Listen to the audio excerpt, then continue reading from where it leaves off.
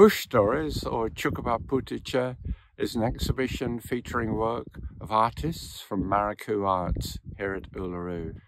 Billy Cooley, Reggie Uluru and Sandy Willie have works. There's a collaborative work from Veronica Reid and I have work of my own. Anangu are really passionate about promoting their tjukurpa, promoting their stories, keeping their traditions alive and passing them on to generations. The exhibition is designed to provoke your curiosity, to delight your senses, and to enable you to see some of the beauty of this land that I feel each time I come. Miles Allen new sculpture works are evocative of the time he has spent travelling, working, and collaborating with Anangu artists in the Mutitjulu community.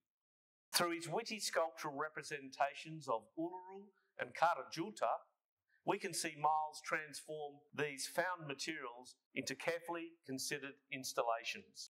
Miles, who works voluntary in the Art Centre, has also taken the opportunity to complete a series of small collaborative works with Veronica Reid, She's an experienced artist from Maruku Arts who depicts her country and her father's tjukurpa. Reggie Uluru narrates the story of Wati Ngintaka, the Perentie lizard man.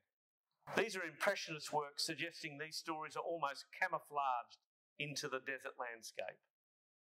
Sandy Willie paints sublime abstract works using a whole orchestra of colours.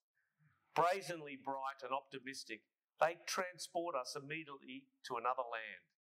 He describes them as his ancestral country, pertaining to sacred men's law, such as the site of Kaltukatjara, deep in the heart of Australia's central desert country.